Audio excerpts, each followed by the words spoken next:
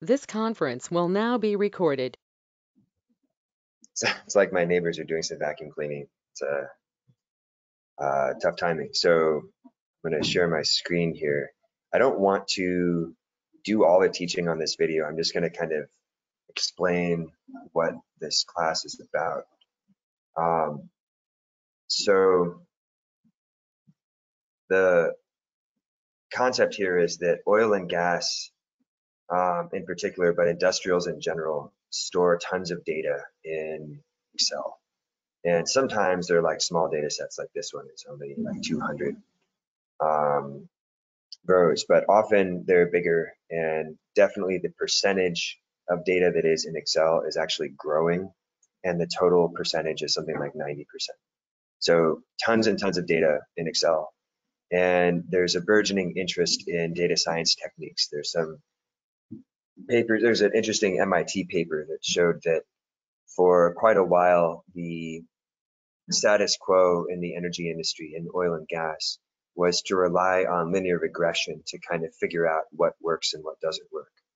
And um, coming out of the oil industry, I know that there certainly are a lot more sophisticated methods that people use. But that said, the data science uh, methods that have emerged from the data science community, academia, from software industry, um, a lot of those best practices have yet to be uh, really integrated into workflows in oil and gas. So great opportunity there, especially as the industry is struggling for operational efficiencies.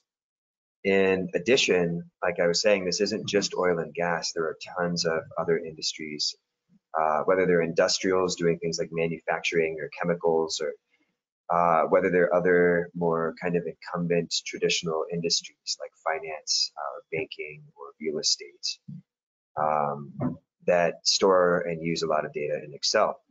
And one of the challenges of getting people to use data science is that a lot of the classes that teach data science are like, oh yeah, this class is taught in Octave, and you learn a ton about you know data science best practices and methodologies. But everyone's worried about having to learn Octave while they're learning data science at the same time. Uh, and so there's fewer people who kind of sign up than there would be otherwise. Same with Python and, and a lot of these other programs. Whereas um, in Excel, there are tons and tons of uh, people with a lot of experience here. So if you already know how to use Excel and you've done a little bit of scripting in Visual Basic, or even if you haven't, learning about how data science works, starting off with Excel is a good idea. And then you start to learn a, about where you bump up against walls in Excel and why it's a good idea to switch to something else. And because you know the concept then you're you have a clearer goal in mind when you start to build something in another tool uh, or another scripting language, or when you're using another tool that was already built in another scripting language, you kind of trust it more. It's a bit more transparent for you. So that's kind of like the goal here is teach people data science methodologies. In particular, random forest, that's a nice, powerful, and widely uh, applicable one.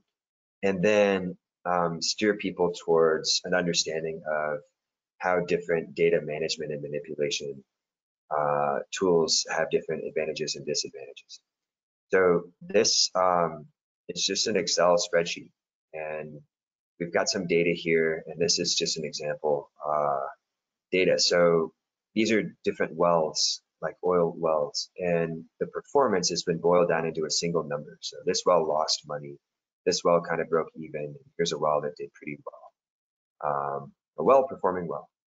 So this is the location and the depth of the well. And because these are onshore unconventional wells, they're drilled down and then drilled horizontal.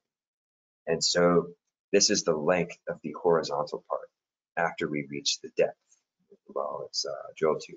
And then this is the configuration. There's a lot more behind this number, but I'm not allowed to share it. So uh, this data um, matters because we want to we want to compile based on previous performance what could matter in terms of performance going forward. And if we're going to pick another well in Lakeside, how should we configure it? And what should be its depth and lateral length? So to make those kinds of determinations, we want to apply some data science methodologies to this. This is a very simple use case. A random forest might even be kind of overkill. So this is the tool that people learn how to build. And what's cool about Excel here is that when you build here, I'm going to delete these trees and build some new ones. When you build uh, uh, trees for random forests in Excel, it's possible to build it such that nothing is stored in an array. Everything is stored actually on the Excel spreadsheet, which means it's very visual. So that's why it's called the forest visualizer, because you can build like one tree at a time. And as it's building, you can kind of like look at how how it works and why things have worked out the way they have, which is you know helpful for debugging, but also for understanding um, really what's going on behind the scenes. So if I want to create a tree, I can choose what percent of the data and then hit go. So this is like the most basic thing. Let's just do uh, 15%. So we can watch it build and uh, we can also like pause this visualization here. What it's doing is for each uh, feature of each sample, it's turned all of those features into numbers. And then it's going through and it's trying to minimize the R squared value if we were to take that feature of that sample and make it a split point um, in like a decision tree. Um, so the uh, the it'll make a split, and you know, of course, in the actual course, I'll spend a lot of time explaining about R squared and the intuition behind R squared, and how really what it is is just a comparison of the performance of any model to describe data versus the most naive model, which is let's predict the average value for every single thing. Um, so I just like hit run. If you go into the developer tab, you can choose to put breakpoints. And so you can like trace back everything that's happening here. And when you do that, you get kind of a, a better sense like uh, if there's any part of this that you're not understanding, you can pause and check. So the plan is to um, walk people through exercises. So here's some exercises, like you're meant to use VBA to copy hello world from this to this. And I teach people, and it actually goes really fast, even if you don't have scripting experience, to teach people how to find hello world here using Visual Basic, um, like reference a sheet and then put it here. And similarly, um, there's more tabs here that kind of like walk you through the basics of the coding that has to take place in order to enable this tool to work. And uh, I'm going to do a quick control alt delete here so I can look at task manager. Oh, okay, it's done. Dang it. Um, I wanted to see how much of my compute power was being used um, by this. So I just made one tree, and that took a while, I think, because GoToMeeting is eating up a lot of my um, compute power here. So if I zoom out, this is a tree and you can follow along the path. Uh, so it shows sample four, feature four as the first. So here's sample four, one, two, three, feature four was a two. You notice here that all of these values in their feature four area have a value that's greater than two. And all of these have either a one or a two because feature four, we'll remember, was the configuration. So a one is an A, a two is a So if I go into this tree, I see that I've split based on sample one, feature four, which was this two value. So anything with a value that's greater than two in feature four goes here. Anything equal to or less goes here. Um, kind of going fast just to kind of save time because I'm making this video for the people who are running ODSC, not for students. Uh, the next split, we found a leaf of a tree, and that was sample four feature three from this branch. So sample one, two, three, four, feature three here. Um, and we go on from there. So this was the only 10. We notice it had a uh, an actual performance value of 10. So interesting, we're starting to like zoom in on what works well.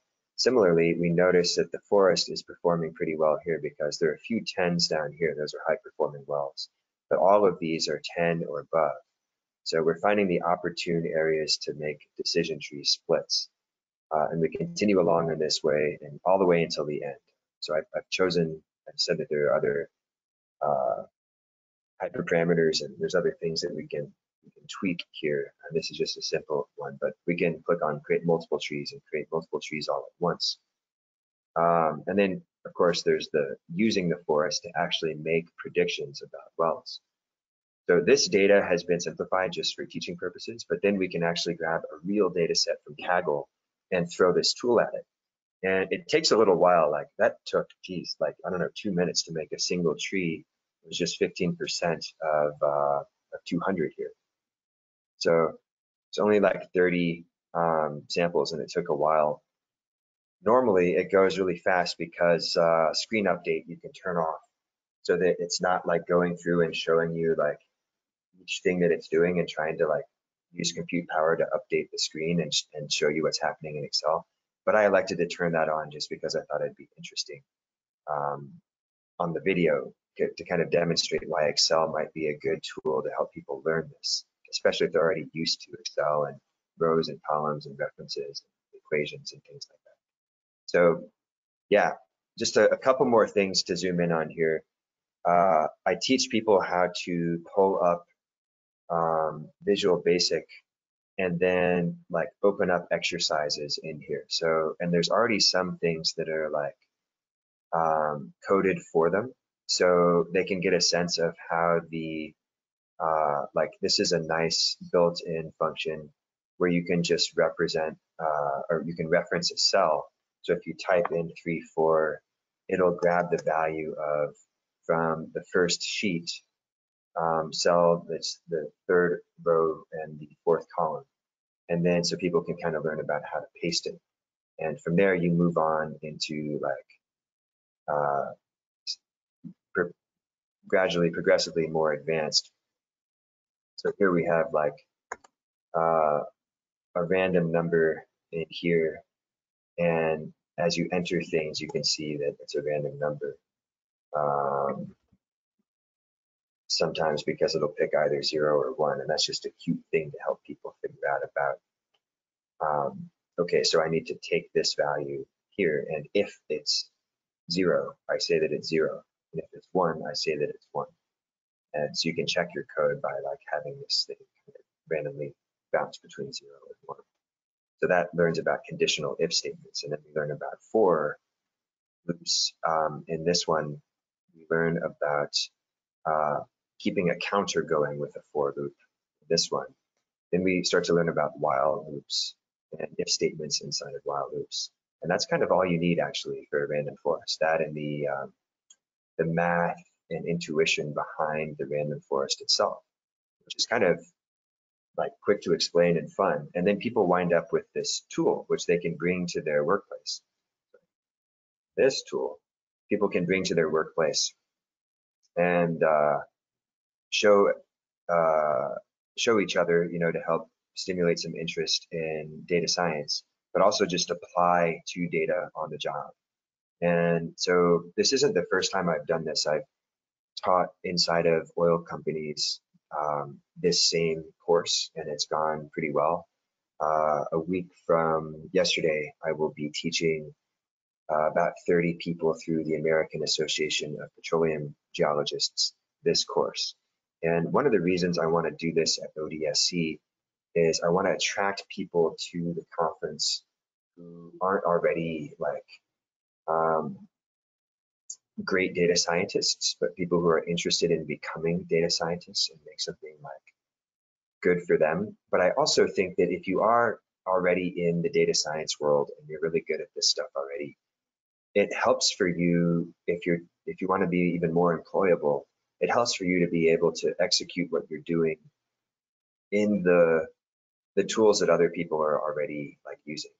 There are so many different companies out there that do not allow their employees to use Python. Sorry, not allowed. They're like, oh well, I'm gonna you know reference something from GitHub. You don't have access to that website. You know, I'm just going to watch this YouTube video about how to know you don't have access to that. And maybe that's starting to change, and maybe COVID 19 will accelerate the uh, liberalization of workflow inside of incumbent industries. But there's still a challenge that like all of this data is in Excel. So data scientists like start to get good at referencing Excel and understand how Excel works. Uh, I work with some people who are fresh graduates from data science programs, and their ex Excel skills are actually pretty low um, because it's just considered an obsolete tool. And objectively, perhaps that's correct, you know. But you can also measure a tool's obsolescence by uh, not just by its performance uh, and its efficiency in handling tasks that are relevant to create value.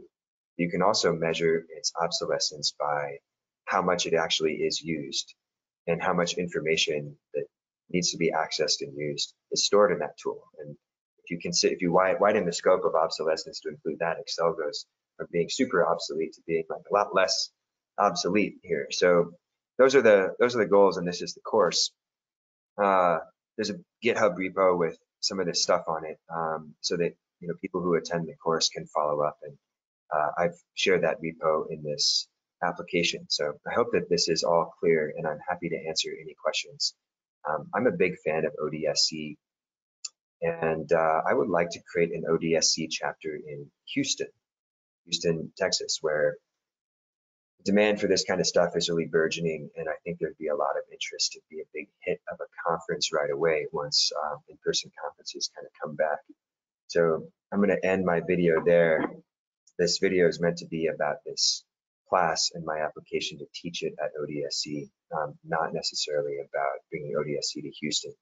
But uh, in case somebody who watches this checks that out, um, I would like to talk more about it. So, all right, thanks for your time.